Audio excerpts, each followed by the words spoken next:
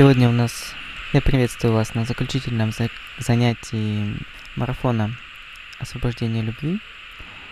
И сегодня тема нашей беседы – это любовь и духовная близость,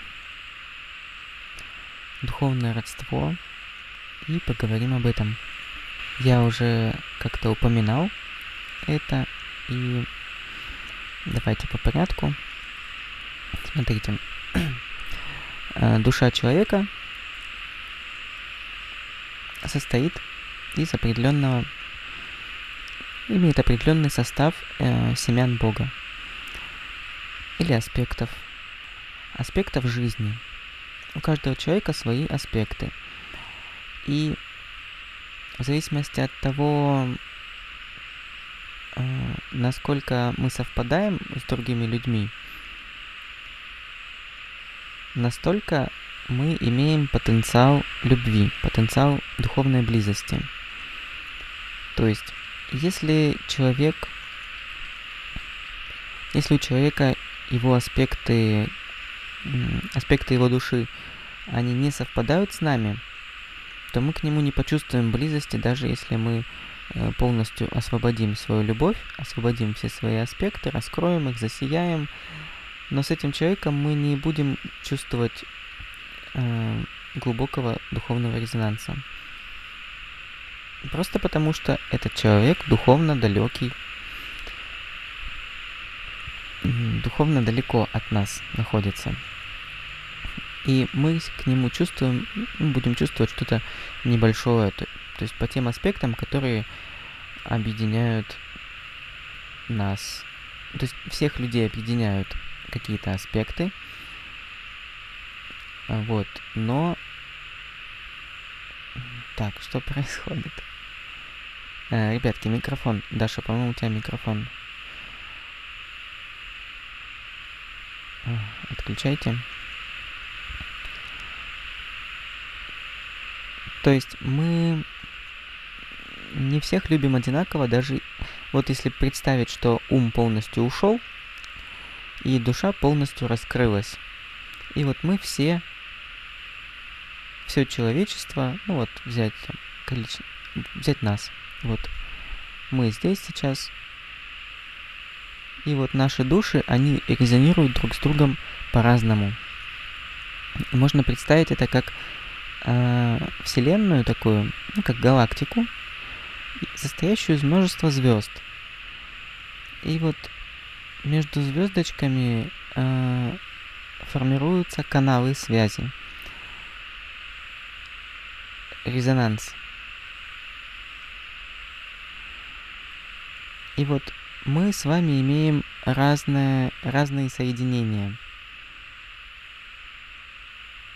То есть каждый из вас со мной имеет какие-то соединения. Э, вы друг с другом И это наша духовная истина. Это то, что нас э, связывает, объединяет в единое целое. И можно это представить еще как э, организм, вот как человек, и он состоит из э, разных, качественно разных э, тканей, которые образуют различные органы. И вот в одном отдельно взятом органе, ну, допустим, печень, в нем клетки имеют похожую структуру. Они близки друг к другу по функциям своим. И они объединены энергетически, и они вместе создают вот этот орган. Вот в другом органе, там в почках, другие клетки совершенно. И они создают другой орган почки и печень между собой тоже связаны, то есть они взаимодействуют. Между ними есть определенные э, каналы связи. Но клетки, клетки в печени между собой связаны сильнее, чем связаны с клетками в почках. И так весь наш организм. Есть кожа, есть легкие, мозг, есть кости. И так далее. Все выполняют свою функцию, и все вместе составляют вот это удивительное тело, этот э, организм, который при слаженной работе всех клеточек может творить, так скажем, чудеса. То есть может э, функционировать. И если в теле возникают какие-то неполадки, если энергетические каналы связи между различными органами нарушаются, то тело не функционирует э, должным образом и либо умирает, либо засыпает, либо впадает в какое-то сам, коматозное состояние, в котором оно не может э, выполнять все свои функции. И вот пока оно не восстановится, не восстановится связи внутри, оно вот как бы не, не живет.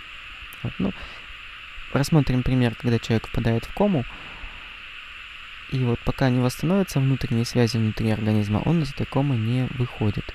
Когда восстанавливаются связи, то человек выходит из этого состояния, то есть тело может функционировать, может быть проводником этого опыта, проводником э, намерения, проводником воли. Вот. И да, когда восстанавливаются связи внутри, то мы как бы просыпаемся. Вот так. Человек просыпается.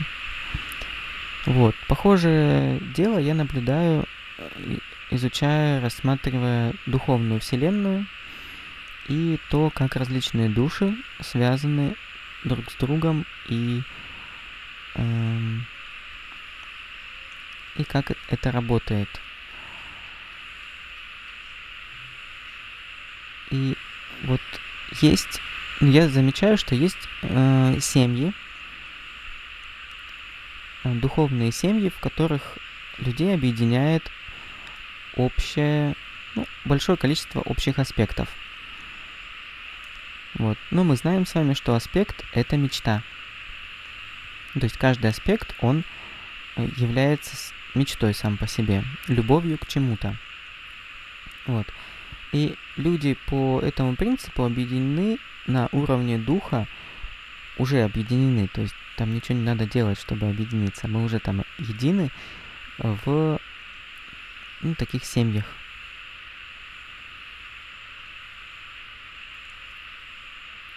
Вот, и вместе все семьи объединены тоже в единое целое в единый организм, в котором каждая семья выполняет свою функцию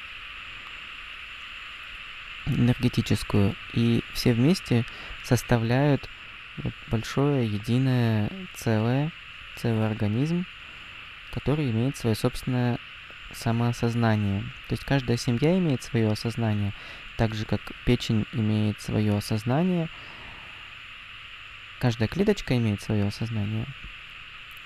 И печень имеет свое сознание, и в этом осознании все клеточки объединяются в единый организм, и все чувствуют вот эту общую миссию.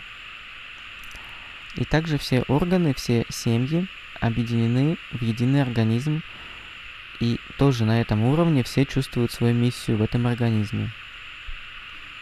То есть в духовной семье каждый чувствует свою миссию для этой семьи, то есть для выполнения той мечты, которая объединяет всех в единое целое. И на уровне э, Всевышнего, на уровне э, ну, вот этого организма духовного, который объединяет всех в единое целое, мы тоже знаем, э, какова наше место и какова наша роль. Вот. И в чем здесь замес? То есть есть вот эти каналы связи, которые нас объединяют, и ничего для этого делать не нужно. То есть это уже есть, это уже там, мы все связаны правильным образом, ничего не нужно понимать, нужно просто ну, доверять своему месту, своему чувству и не сопротивляться ему, и никакими мыслями не препятствовать быть собой. Все. Вот. И проблема конкретно тут в том, что есть э, ум есть ну, то есть не в, не в том, что есть ум, а в том, что в уме поселяются программы, которые говорят о том, кто мы такие, какова наша роль, чего мы хотим, какова цель жизни, что хорошо для меня, что плохо, какой должна быть моя жизнь и так далее, и так далее. И там в том числе вот самое такое мощное самые такие страшные программы это программа о внешней свободе,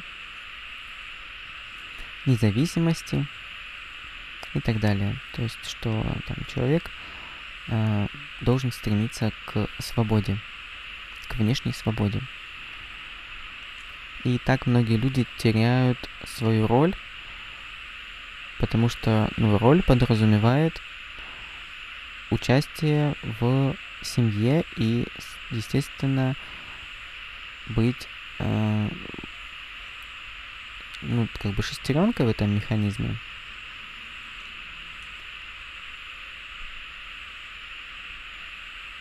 Вот. Но это не такая шестеренка, которая в системе, созданной умом. И когда мы работаем этой шестеренкой, мы делаем это ради чего-то, ради какого-то результата, ради зарплаты там или еще чего-то и мы себя чувствуем там не на своем месте. Вот. Когда мы работаем шестеренкой служения, совершаем, то есть служим Богу и э, просто занимаем свою, свое место в этом организме духа, то мы всегда чувствуем состояние счастья. И если нет мыслей, которые говорят, что это неправильно, что должно быть иначе, что человек должен быть само, само, само, самонезависимым, достаточным и все такое, если этих программ нет, то все гладко, ровно, и мы просто наслаждаемся своей жизнью тем, что идет из нашей истины, из нашей природы. Вот. Ну, то есть, есть вот эти связи, естественные, которые нас сближают.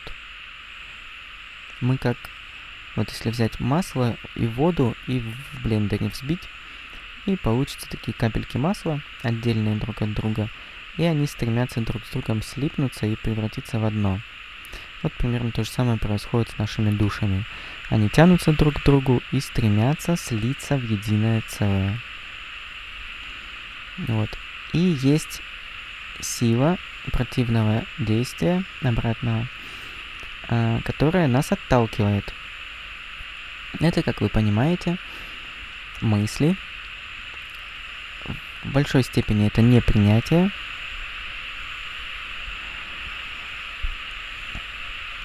Вот, то есть встречаются две души, их друг к другу тянет, но у них есть какие-то программы, которые как каким-то образом оценивают друг друга и создают напряжение.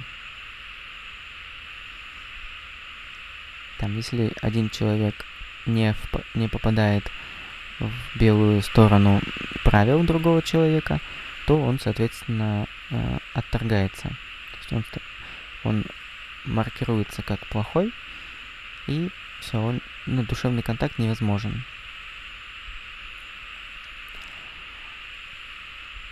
Вот, и на пути к Богу, к единению, мы проходим путь очищения от всех мыслей, которые вызывают разделение.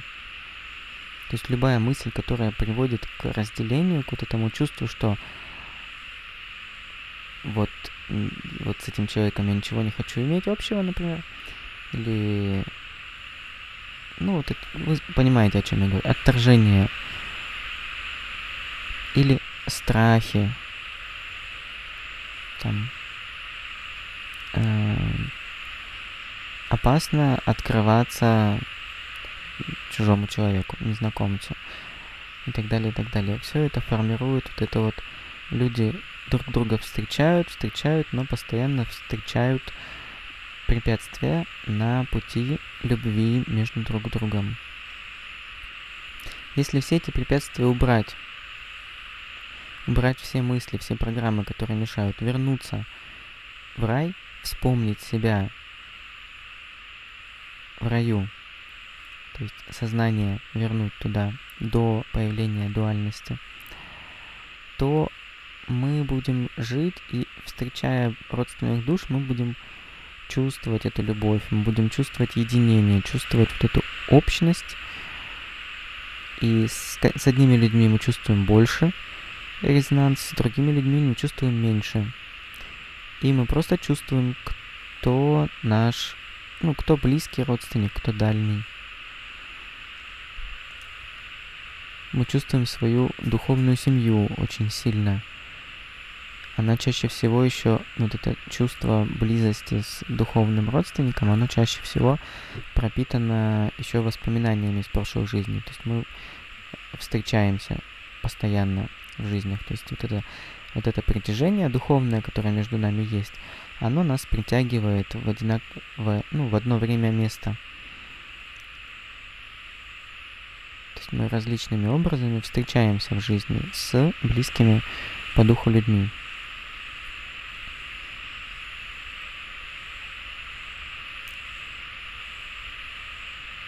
То есть вот этот духовный резонанс, он формирует энергетические потоки, которые формируют потенциалы событий, и так все складывается, что мы встречаемся. Ну вот. Я думаю, это понятно. Так, это очевидно и, как бы, и это логично, что так устроено.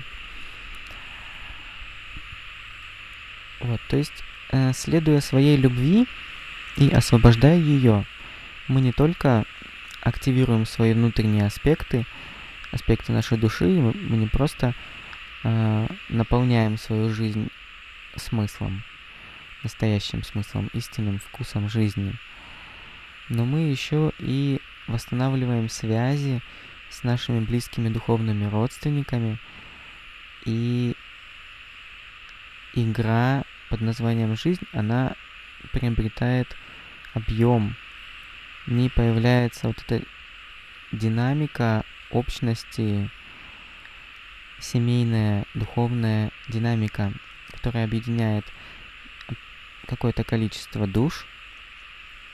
Там для... Это может быть разное совершенно количество. Это может быть 15, может быть 30, может быть 100 человек, 100 душ, объединены в единое целое. И вот эта динамика, она пробуждает в нас очень глубинные аспекты и очень такие сокровенные мечты. И эти мечты, они объединяют нас в единое целое, и доверяя этим мечтам, питая их в себе, открыв... э, питая любовь к ним, мы объединяемся в группы, в сообщество, объединя объединен, ну, людей, объединенных по принципу не единомышлия, а близости по духу. То есть, посмотрите, обычно сообщества формируются по принципу единомышлия. То есть есть общая идея, которая всех объединяет, и все за, это, за этой идеей идут. То есть все в нее поверили. Тот тот продукт, товар, то обещание, которое обещает эта идея, всех привлекает, то всем этого не хватает, и все вместе туда идут. Это объединение по принципу единомыслия, по принципу ну, вот, объединения с помощью идей. Такие сообщества, они не самодостаточны, они неустойчивы. То есть какое-то время люди идут за этой морковкой, идут, идут, идут за счет своего ресурса. И в конце концов идея все равно всех имеет. И начинаются потом внутренние конфликты в этом сообществе, перетягивание энергии. И в результате оно э, задыхается. Я наблюдал много сообществ, созданных по принципу идей, по принципу единомыслия, и у них нет будущего.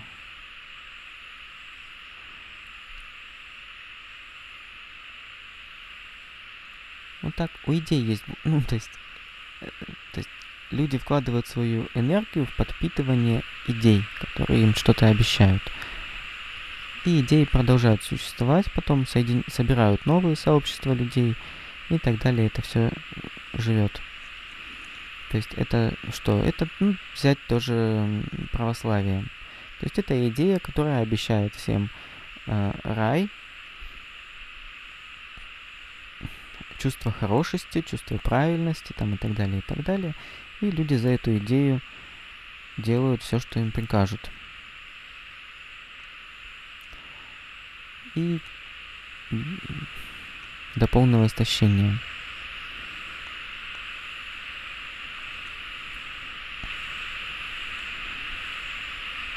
Вот, когда сообщество формируется по принципу любви, то сама по себе вот эта динамика, вот эта э, взрывная энергия любви, которая рождается каждый раз, если пространство свободно, если идеи там не э, заполняют его, то все время генерируется энергия. И она питает всех участников. Не обещаниями, а самим процессом, самим э, вкусом жизни, который рождается вот в этой динамике между людьми. То есть люди в таком сообществе, они готовы делать все, что угодно, ну, то есть готовы, э, они делают все, что угодно, то есть вот идет энергия туда, и люди это делают просто потому, что им вместе хорошо.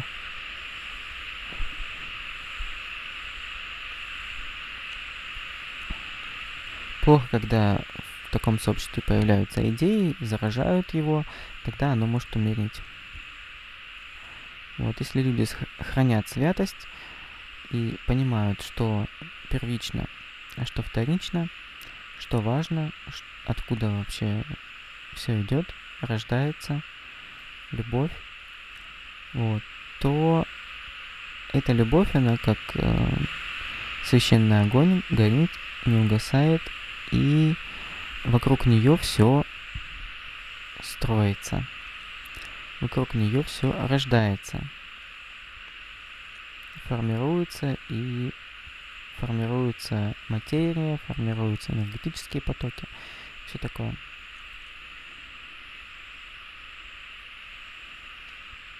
Вот. И это мало того, что это работает, мало того, что это устойчиво работает, так это еще и та истина, которая ведет нас к Богу, ведет нас к Абсолюту. То есть, формируя, формируясь, формируясь, объединяясь в сообщество по принципу, э, по духовному принципу, мы не просто создаем устойчивые э, сообщества, мы, мы следуем правилу, ну, то есть следуем истине. Мы эм, за, занимаем свое место. И мы растем. То есть растет наше самоосознание. Мы осознаем себя сначала, вот просто есть я, да, хорошо, когда я себя осознаю тем, кто я есть. То есть я осознаю свой состав души, я вскармливаю эти аспекты, я расту как клеточка в организме, я осознаю себя, что да, я клеточка печени. И потом я чувствую родство с другими клеточками, я выхожу за эту скорлупу, открываю свою любовь, открываюсь любви, и я чувствую, что я не просто клеточка, я вся эта печень. То есть я не просто клеточка, которая выполняет какие-то функции внутри печени, я — это целая печень, которая выполняет функции органа во в, целом организме.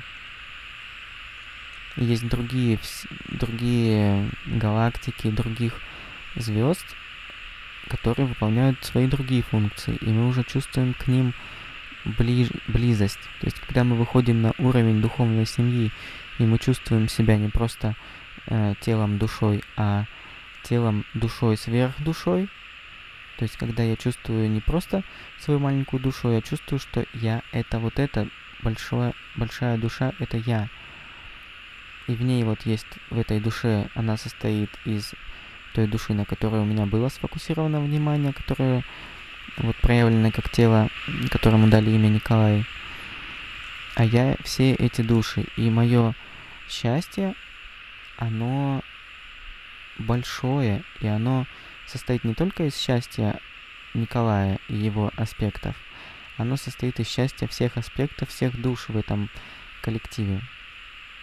И я уже забочусь не только, ну вот принимая решения, направляя энергию своего внимания, я забочусь уже не только о своем счастье как единицы, индивида, вот, личности.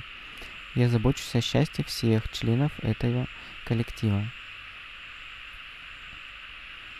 И это не то, чтобы идет от ума, что вот теперь я буду заботиться, а просто осознавая себя вот этим большим целым, вся э, ну, вот, энергия, она идет согласно эм, потребностям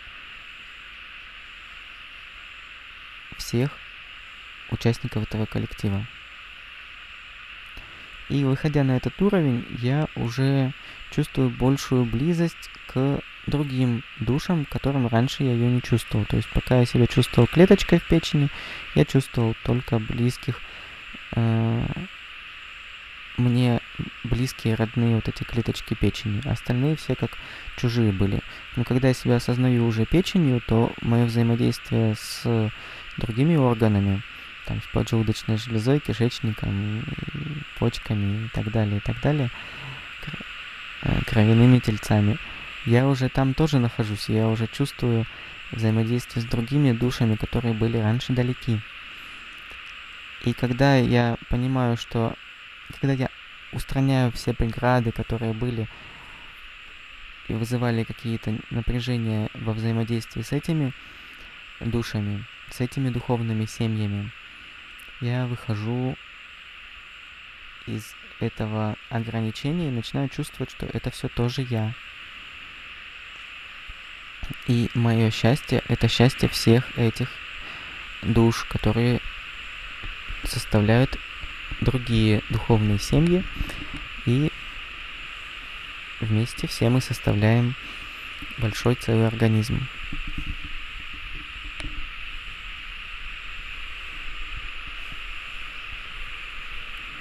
И так я выхожу на осознание, на чувствование себя вот этим всем большим целым.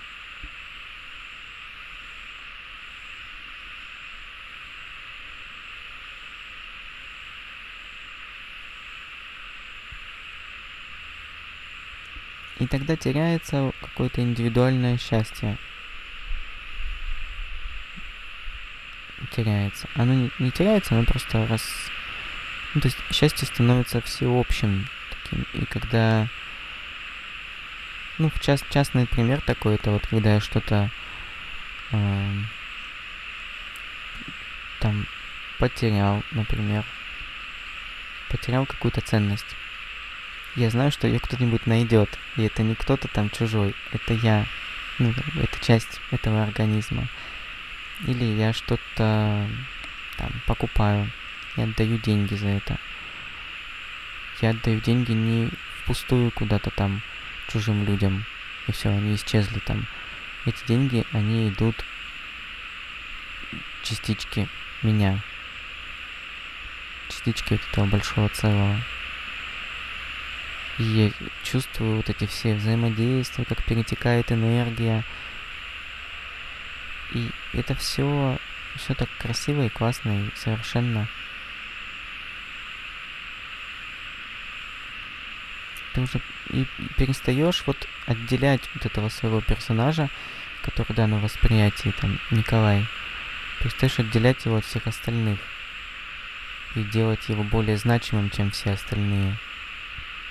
Он становится таким же значимым, как и все остальные, и Вот если ему что-то нужно, то я формирую этот энергетический поток свыше, вот с этого уровня, чтобы к нему это пришло.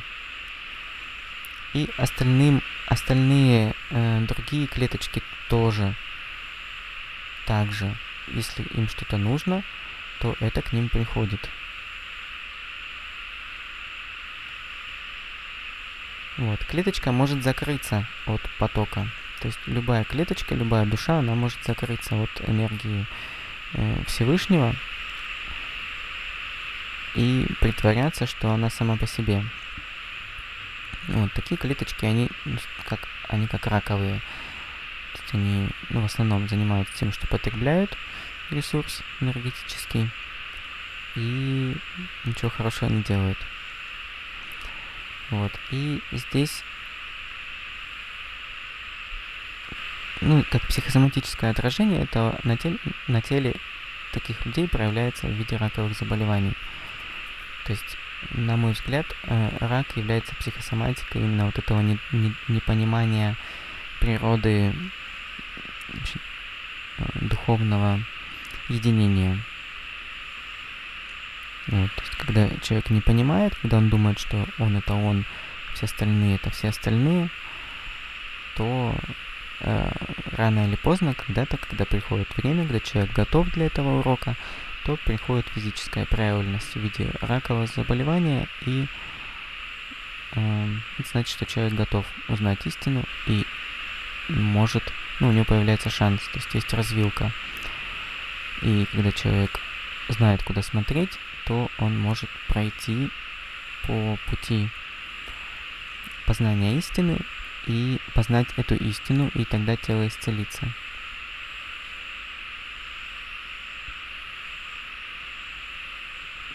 Вот это как пример.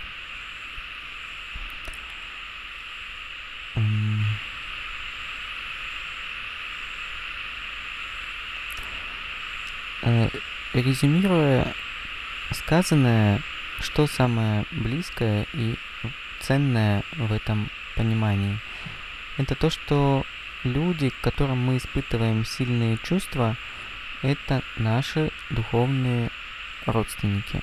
Это могут быть женщины, это могут быть мужчины, то есть физическая оболочка значения не имеет. Будьте внимательны к тем чувствам, которые вы испытываете к людям, Будьте внимательны всегда. Ожидайте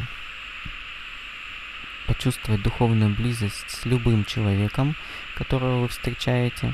Это может быть э, там, инспектор дорожной полиции, который вас остановил за нарушение. Это может быть продавец на рынке, это может быть кто угодно, кассир в магазине. Смотрите за за, заглядывайте за социальную роль, которую играет человек. Разговаривайте с э, человеком как с душой, а не как с ролью, которую он играет. Напоминайте, как бы, тем самым вы нап- не только видите человека, вы еще и напоминаете ему, кто он.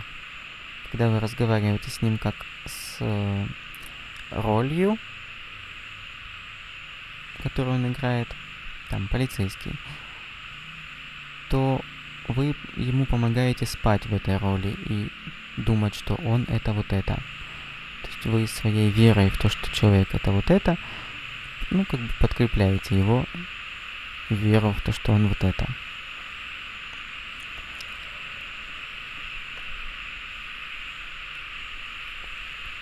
Когда вы разговариваете с человеком как с душой, то вы напоминаете ему, кто он, напоминаете ему вот это вечное, ну, чувство вечности собственной, чувство духовности, чувство любви, которое есть в каждом человеке и которое на вот этом уровне связывает нас всех в одно целое.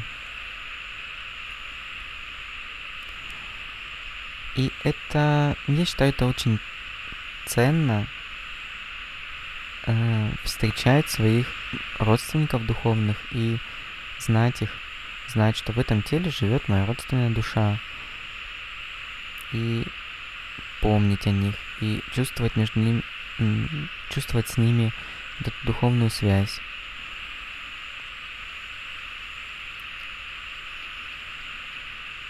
И это, это как богатство духовное, когда вы помните своих э, духовных родственников. Можно сделать, там, можно фотографии хранить этих людей. И просматривать их, обращаться, соединяться с их душами.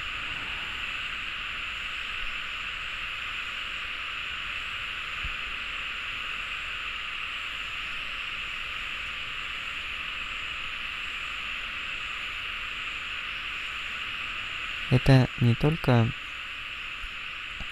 помогает восстанавливать связи с ними, это еще помогает себя вспоминать. Вспоминать свое, свою роль, свое место в духовной вселенной. Вот. Эм, такое небольшое домашнее здание. Взять бумагу, ручку и выписать людей, к которым вы испытывали чувства. Мужчины, женщины, люди, к которым вы чувствовали любовь. Вот это вот просто чувство, что вам этот, вам этот человек близок. И возьмите и запишите на лист. Можно как мыльные пузыри тоже сделать. Там вот с кем сильная была, тех ближе к центру и большего размера записывайте. С кем небольшие были какие-то чувства, тех поменьше. Я в путешествии очень много встречаю родственных душ, близких и не очень близких –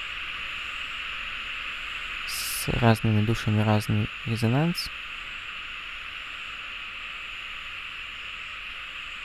И у меня уже такая целая, как такой большой кусок звездного неба, где есть яркие звезды, и есть поменьше, и есть совсем маленькие.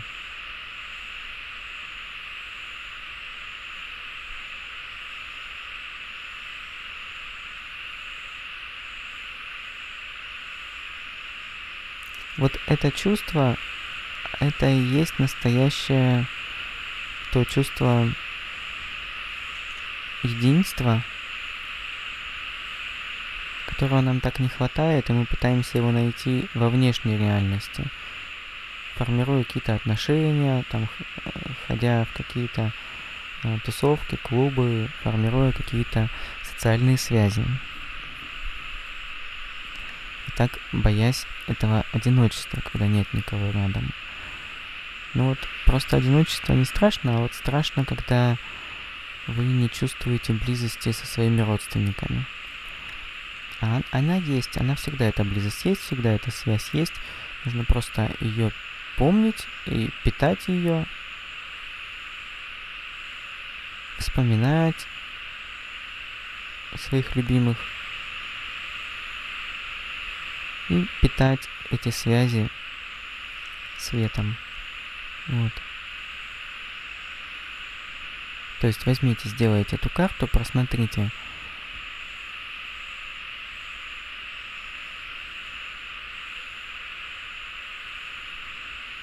Каждый из этих людей соединяет, дает вам чувство Бога.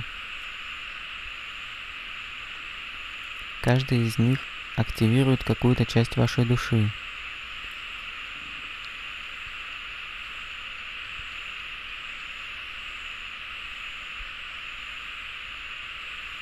Просмотрите, какое было чувство, когда вы встретились или когда вы открылись, вот какое было пиковое, самое сильное чувство. Посмотрите, какое сейчас. Может быть, что-то там застряло на пути между вами. И вот постарайтесь очистить каждую связь до состояния вот такого пикового. ну, то есть свободного. То есть не пиков, ну, пиковое там часто бывает, ну, что есть какое-то вот это чувство роста совместного. И оно, конечно, очень сильное. Когда вы выросли вместе, то там уже спокойная энергия. Вот. Ну просто до состояния чистоты доведите все э, соединения с другими людьми. Вот. Это, ну, это большая работа, но она дает большой результат. То есть вы можете таким образом расчистить очень большое количество э, ментального барахла, которое закрывает любовь.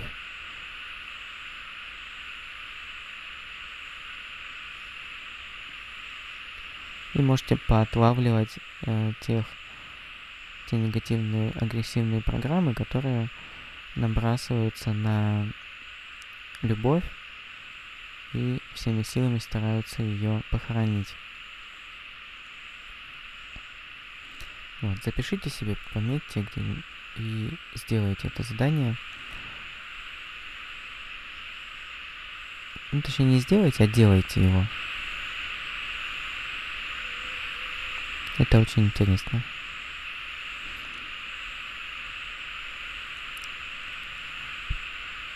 Вы, возможно, что-то что-то в этом найдете новое для себя. Напишите мне, что вы думаете по поводу того, что я сказал. То есть смотрите еще раз.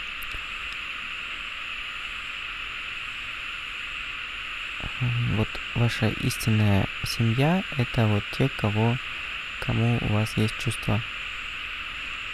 Вот. Они могут совпадать с вашими биологическими родственниками, могут не совпадать.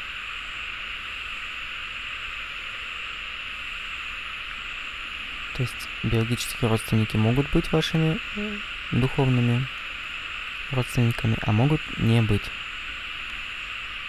Когда как.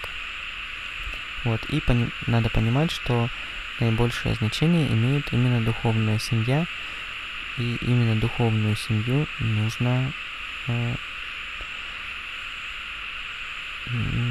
наполнять светом, соединение с ними восстанавливать светимость и питать эти связи.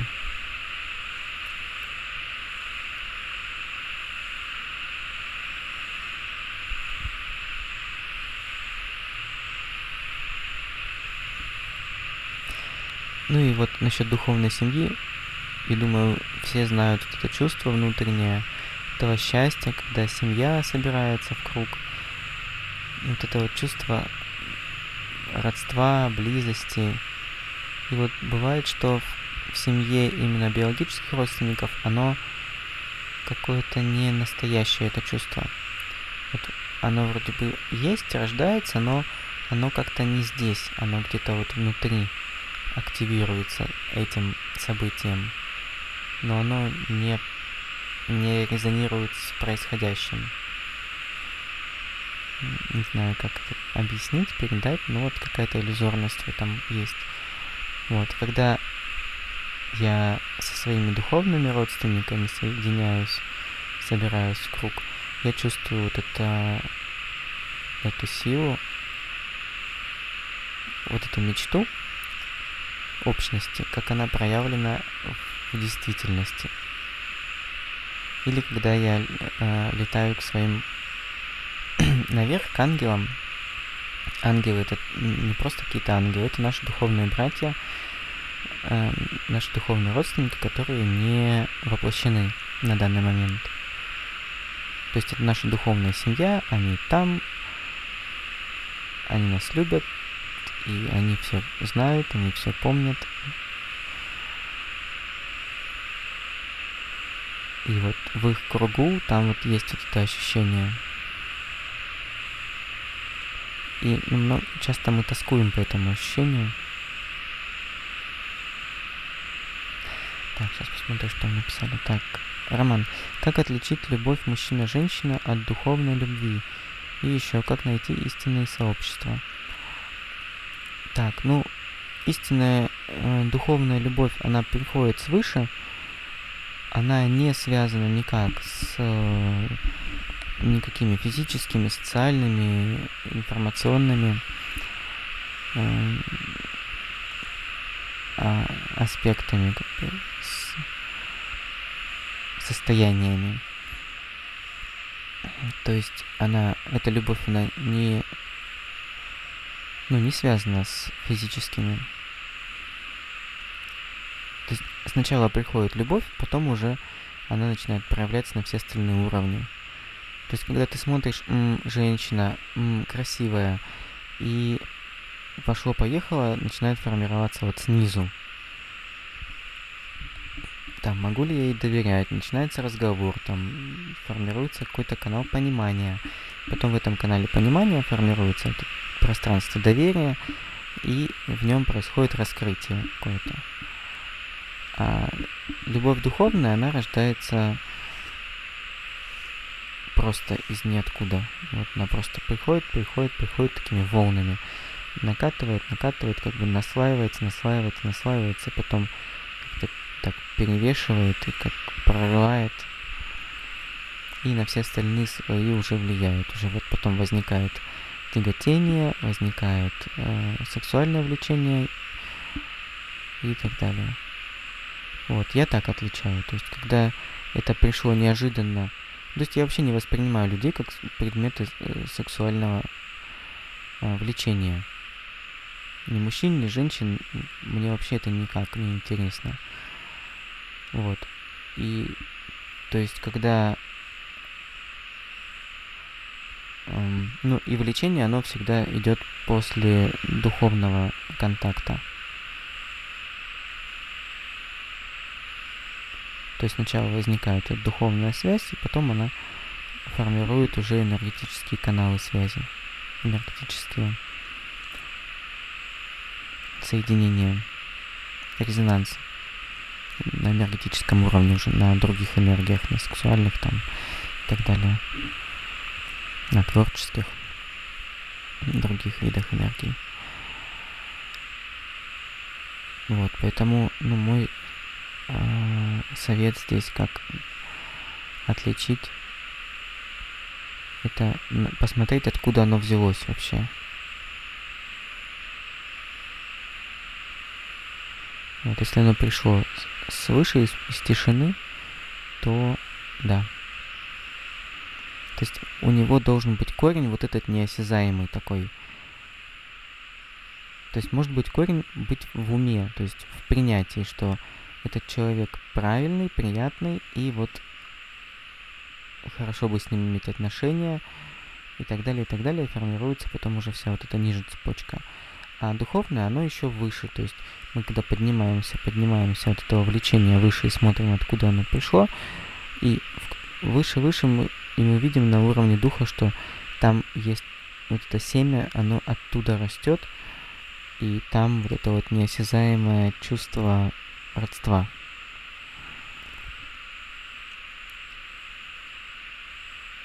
Вот.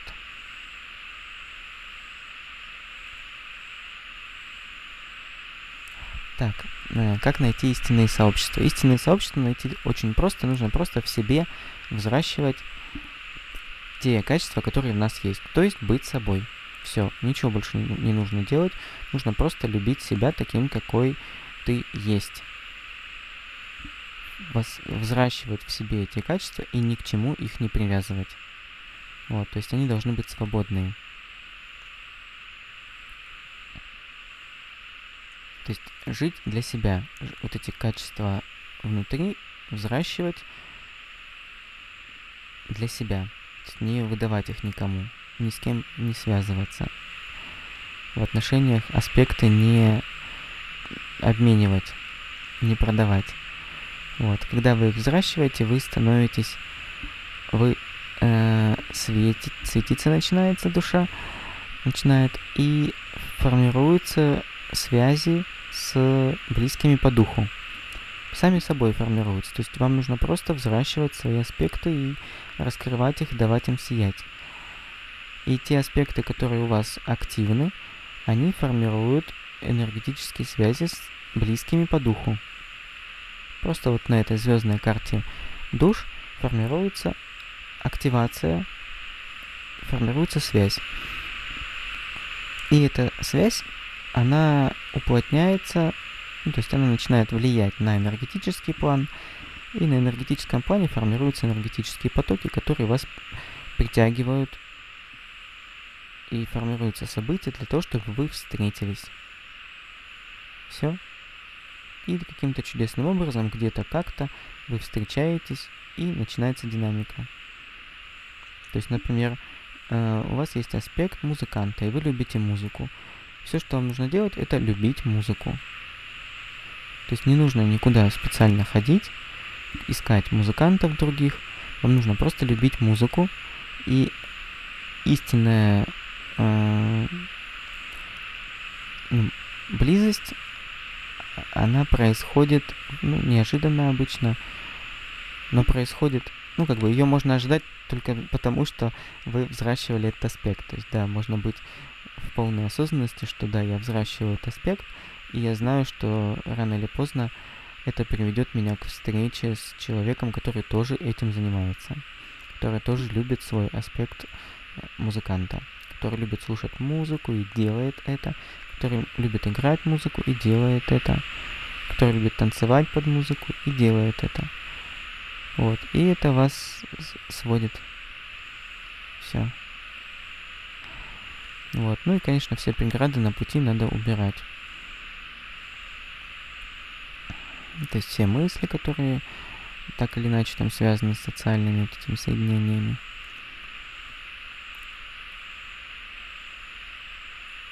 Все э, недостатки, которые мы пытаемся восполнить в этих э, сообществах там чувство защищенности, например. Оно не должно быть там быть найдено, оно должно быть уже. То есть мы в сообщество входим в целостном состоянии, неся туда все свое счастье. То есть не неся туда его, а идя с ним. Только так можно войти в здоровое сообщество. Неся э, с собой пустоту, мы входим в сообщество, которое тоже вот содержит эту пустоту. Понятно?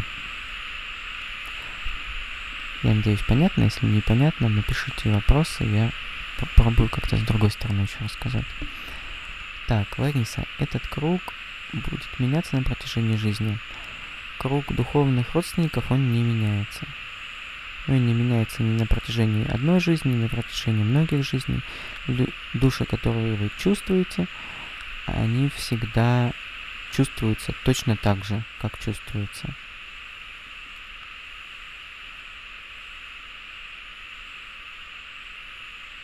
Ну, то есть, как бы их позывной, их вот этот вкус особенной души, он не меняется. меняется его то, что вокруг. То есть вот есть центральная как бы часть души, которая вот уникальность создает души. И есть аспекты, которые человек может активировать, может нет. Может, то есть в какой-то момент он может их активировать, и тогда общее ощущение человека поменяется. Или человек может похоронить все аспекты, и тогда он вообще исчезнет. То есть он не будет чувствоваться. Но память о нем все равно будет в душе, то есть его чувство, оно будет, этот канал связи, он будет э, как бы известен уже. И когда человек выйдет из ада, откроется снова, то вы его снова почувствуете. И он будет таким же. Вот. И знаете, что это касается не только людей, которых вы лично знаете, вот ваши друзья. Это еще касается и звезд, там, знаменитостей и так далее. То есть записывайте тех, кто в вас вызывает чувство любви. Не только ваши близкие, знакомые, друзья, но и тех, кого вы видите по ТВ и по-разному То есть не просто ж так в вас вызывает чувство любви именно вот этот исполнитель или это, эта звезда. Есть у каждого человека свои контакты, свои коннекты с другими людьми, со звездами в частности. Вот, то есть звезд тоже заносим на эту карту. Так, Даша. Я иногда стесняюсь сказать человеку о таком своем чувстве притяжения. У тебя, Коля, бывает такое или было, что ты с, что ты с этим делом? И как не спутать духовное притяжение с сексуальным? Угу. Как не спутать? Рассказал уже. А, так, стесняюсь сказать человеку о своем чувстве притяжения. Ну, просто надо исследовать мысли, которые вызывают это стеснение. То есть есть мысли, которые говорят, что если ты сделаешь это, да, то есть какие мысли тебя стесняют, с, сдавливают, да, это какие-то мысли. Их надо просто исследовать и посмотреть. То есть мысли говорят, что, типа, что если я откроюсь, то, то там, меня могут высмеять, меня могут как-то там не принять, и мне это будет больно. И так далее, и так далее. Вот, и когда ты исследуешь эти мысли, ты понимаешь, что больно от того, что ты стесняешься. Вот это реально больно. Это реально неудобное чувство. Вот. А если там кто-то высмеет тебя, это вообще никак. То есть, если нет мысли, физического влияния на тебя это никакого не имеет. А вот стеснение имеет физическое прямое влияние на целое состояние твоей души. Вот, поэтому исследование, исследование, исследование, исследование, еще раз исследование мыслей. И тогда все вопросы отпадают. Вот так. Было ли, бывает ли у меня такое, что с этим делал? Бывало, я просто шел на свой страх. То есть, да. Если я чувствую, что я хочу с человеком заговорить, я просто это делаю я нахожу какой-нибудь повод, чтобы не выглядеть совсем уж глупо. Там, могу попросить человека сфоткать меня. То есть, да, вот мне совершенно не хотелось фоткаться. Я вижу, что мне интересный человек, я хочу с ним обменяться э, парой слов. И я просто прошу его меня сфоткать. И может завязаться беседа какая-то, в которой я прочувствую глубже этого человека, и я могу тогда завести уже беседу на ту тему, которую я чувствую, что у нас с ним есть резонанс на эту тему. Вот. Ну и вообще, э, внимательность. Вот присутствуйте в жизни своей. И все ответы, которые вам нужны, они приходят сразу же. Не нужно с багажом ответов жить. Всегда просто следуйте за своей мечтой, если встречается какое-то препятствие, которое нужно как-то перепрыгнуть, всегда находится э, ответ, как это сделать.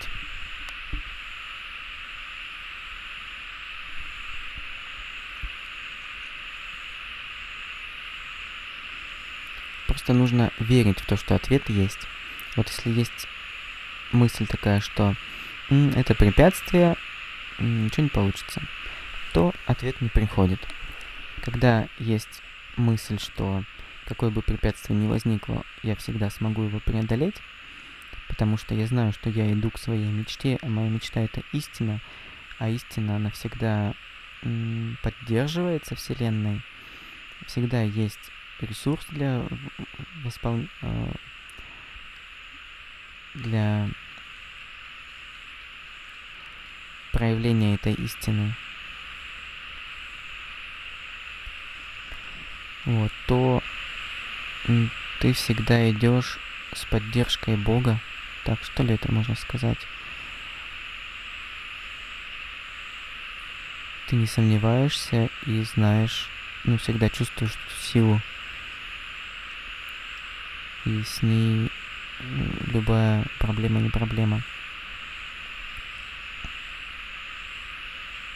То есть может показаться, что ничего не получится, и если ты поверишь в это, то да, ничего не получится.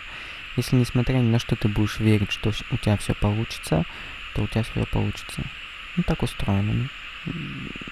Я думаю, вы, вы так видите, как это происходит. То есть поражение возникает только из веры в поражение. Все.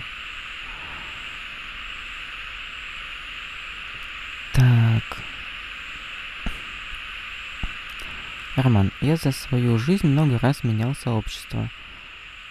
Направление духовное. Эм, что значит направление духовное? А кто-то за всю жизнь одно практикует. Почему у меня так? Я находил сообщество, а потом, когда... А потом всегда чувствовал, что там истина не вся, и искал дальше. Ну, это нормально. Потому что, ну, потому что у тебя есть это любопытство, это тяга к знаниям, к истине, и, соответственно, ты двигаешься дальше, ты не застреешь там в каком-то. Вот есть люди, которым необходимо вот это чувство общности, и найдя его однажды, они застревают в нем. И для них это важнее, чем истина. Они боятся потерять это чувство общности, боятся потерять вот это чувство правильности, которое общество дает.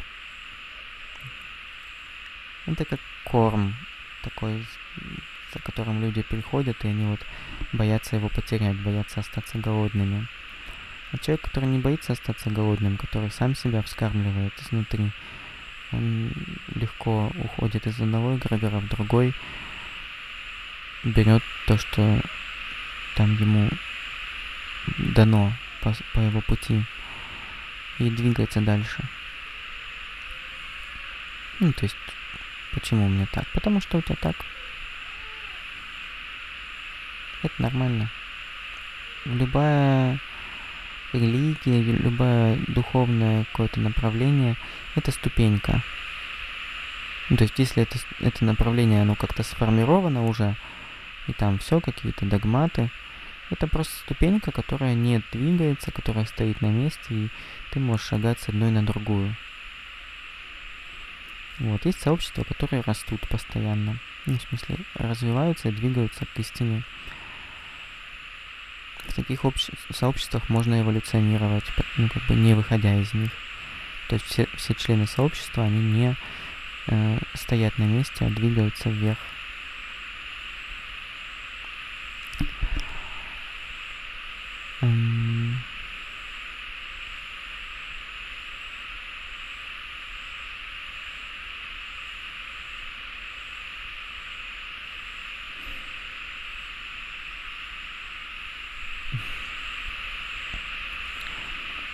Вот, то есть я говорил, в моем послании я говорил о сообществах, объединенных общей мечтой. Вот. Идеи в таких сообществах могут меняться мечта, она объединяет всех. Все в нее верят, и все вместе к ней идут. И формируется вот это поле энергетическое, в котором э, рождается ресурс для достижения этой мечты. Вот. Так, Юрий. Возлюбить своего духовного близкого человека легко, к нему просто притягивает – а вот задача, поставленная Иисусом Христом, «Возлюби ближнего своего, как себя самого», требует духовных усилий в том и в этом ценность, ведь ближний может быть и бомж, и алкаш, и вздорная бабенка в метро. Так, ну, тут все зависит от того, как мы трактуем эти слова, да, возлюби ближнего своего. Ближнего физически, ближнего э, э, идейно, ну то есть по сознанию, близкого по сознанию, по, по пониманию или близкого духовно. То есть, да, это совершенно разные будут люди. И вот, то есть, как вы воспринимаете это правило, кого вы должны возлюбить, то есть, какова ваша миссия, кого вы будете любить всякого ближнего, ну, в общем, смотрите сами. Я не, рекомендую насиловать свою душу и заставлять себя любить кого-то. Нет, любовь это всегда подарок, это сюрприз. Это вот вы просто убираете все наносное и смотрите, что там, и всегда... Вот оно что там. Вот, вот это вот так. Не надо никого любить специально. Можно любить, э, ну, можно просто открывать любовь к аспектам Бога во всем, что вас окружает. Любить людей, которые являются проводниками этих аспектов, любить э, природу, любить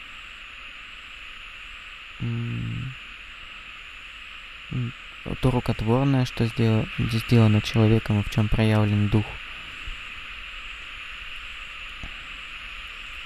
Вот. Насчет бомж, алкаш, вздорная бабенка, конечно, это нужно все.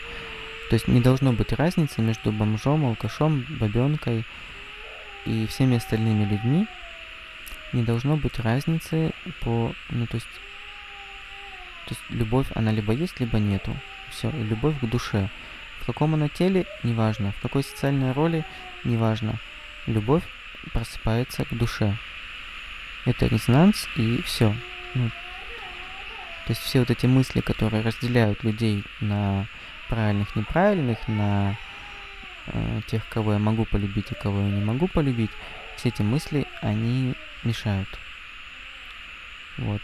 А любовь должна быть абсолютно независима и свободна, не привязана к полу, к возрасту, к социальному статусу и к, к интеллектуальной близости. Вот. То есть любовь это любовь. Все вот эти условия, которые мы ей ставим, они что делают? Они ее обуславливают, то есть делают ее несвободной. Зачем это нужно? Не, не нужно это.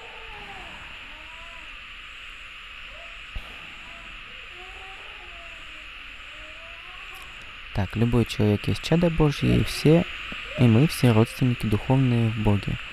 Да? Конечно.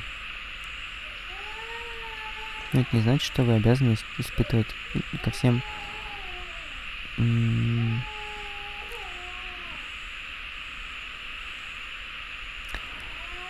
Ну, смотрите, начните с того, что от открываете свою любовь к тому, кому она есть на самом деле. Кому ее прям много. Вот с этого начинайте. И потом это все придет к тому, что вы начнете чувствовать, чувствовать, да? То, что вы будете любить и чувствовать э, тех, кто далек от вас по духу. Но сначала полностью очистите э, с теми, с кем он у вас есть, с кем он сильный. Вот, он активирует все барахло, вытаскивает все. И вот этим занимайтесь. Когда вы свою духовную семью освободите от мыслей и э, вот эта духовная динамика семейная будет живая, ну, там уже все будет понятно.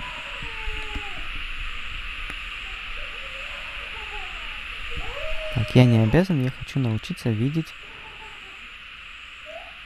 и любить в каждом искру Божью. Да, пожалуйста, она в каждом есть. Вот.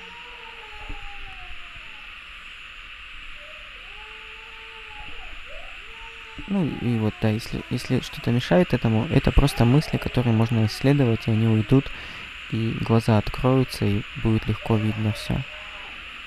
Опять же, просто смотрите глубже, чем э, то, как э, выглядит человек, что он делает, какую он играет роль в мире, вот в этом. Это совершенно не важно. То есть человек может играть э, люди могут играть совершенно разные роли в мире, но при этом играть очень близкие роли в духе. Вот. вот. Но мое послание, то, что я сегодня говорил, это то, что э, находите своих близких родственников и восстанавливайте с ними э, контакт. Восстанавливайте с ними общность, то есть вот исцеляйте внутренние энергетические связи в вашей духовной семье, в вашем вот этом органе тела духа. Я считаю, что это очень э, ценно. Ну, в моем опыте это очень, очень ценно. И это путь, он, этот путь, он ведет к выходу, как я рассказывал, что вы осознаете себя все больше и больше. И когда вы осознаете себя абсолютом, то любовь ко всему сущему приходит просто автоматом. То есть это ее не, не нужно ничего выжимать там как-то. Она просто есть. Это как осознание на уровне души, на уровне чувств. Ну что, если вопросы есть еще, пишите. И я дам, дам домашнее задание. И завтра я вас жду на медитацию. Так, а завтра у нас будет медитация вот как раз о том, о чем мы говорили. Мы будем э, в медитации растворять э, оболочку эго, которая отделяет нас от всего остального, и будем выходить сквозь все уровни на ощущение абсолюта. Так, и домашнее задание. Я вам уже одно дал домашнее задание. И запишите себе еще ну, на будущее, вообще как время со временем там организуйте и сделайте работу над ошибками. Это нужно э, перепросмотреть э, отношения, которые были, и те решения, которые были приняты от ума, и которые повлекли за собой закрытие любви, вернуться в них и сыграть там так, как, как бы вы, как вы считаете правильным надо было сыграть. То есть было решение принято от ума, то есть где-то было решение закрыться, где-то было решение обидеться и так далее, и так далее. И вернуться туда и переписать. Представить ту же самую ситуацию и представить, что вы в ней сыграли по-другому. Только и всего. То есть просто вернуться и вернуть себе ту энергию, которая была там заблокирована. Это очень интересное занятие, очень интересная задачка. Сделать ее нужно с максимальной верой. То есть нужно реально притвориться, что вы так, так и поступили раньше. То есть переписывая прошлое, мы притворяемся, мы верим в то, что действительно так и было. На энергетическом уровне мы эти записи переделываем. Вот